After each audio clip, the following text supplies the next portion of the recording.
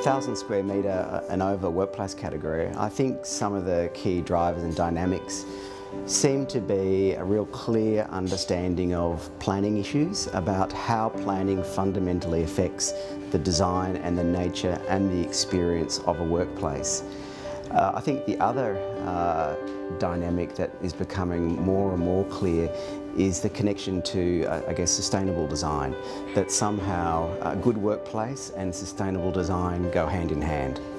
What's incredibly refreshing is the ideas that are starting to come through on the projects. Um, I think no longer is it just about the aesthetics and just about what a project looks like. Um, I think interior design and, and workplace design more generally has been uh, probably labelled as, as probably all style and no substance. And I think it's really good that you know finally uh, the last couple of years that ideas are starting to become I guess the basis for the design work and uh, and then the style and the, the dressing and the, some of the design aspect is then overlaid on, on top of that.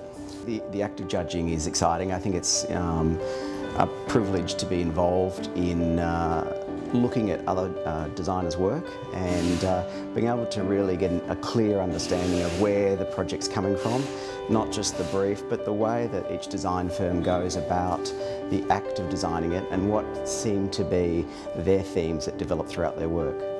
I think the IDEA Awards are a great celebration of Australian design and architecture. Um, it's a way for the industry to come together as one and uh, celebrate its success and design stories. With Stylecraft now having a national presence with showrooms in each of the mainland capital cities and with the IDEA Awards being the largest and most independent industry awards program, we see that there's natural synergies in being involved with the um, awards.